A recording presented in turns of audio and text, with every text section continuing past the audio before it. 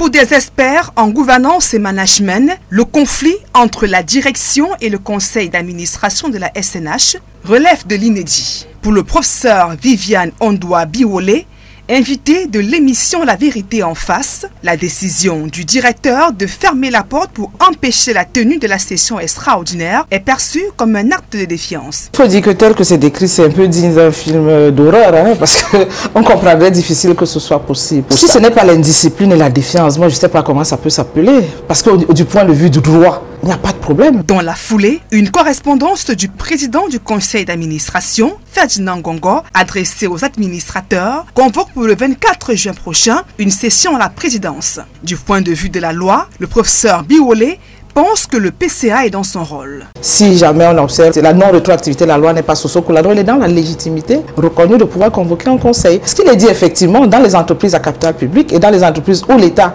a plus de 51% de parts, les directeurs généraux sont nommés ou nommé par le directeur général, mais sur proposition du conseil d'administration. Et donc, de ce point de vue, le conseil d'administration peut légitimement se, se, réunir et décider qu'on remplace le directeur général sans que le directeur général n'ait un mot à dire. Il faut noter que Adolphe Moudiki dirige la SNH depuis 31 ans déjà ce qui est contraire aux dispositions légales qui prévoient que la durée des mandats des directeurs généraux est de 9 ans. Déjà avec la loi de 99, ce délai a été violé. Du point de vue même de la longévité, ça fait 31 ans que le directeur général est en poste. Et moi je pense que ce serait un déclencheur intéressant parce qu'au moins nous allons rentrer dans la conformité. Nous avons euh, au niveau des PCA des PCA qui sont illégaux. Peut-être qu'avec euh, cette action, euh, la présidence de la République voudrait effectivement rentrer dans, la conformité. D'après une étude réalisée par le cabinet du professeur Ondoa Biolé, 57 PCA sont en situation d'illégalité au Cameroun et environ 54 directeurs généraux